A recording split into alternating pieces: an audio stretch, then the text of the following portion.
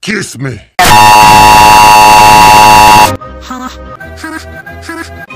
You've got mail. It's some mockbuster from the bargain bin.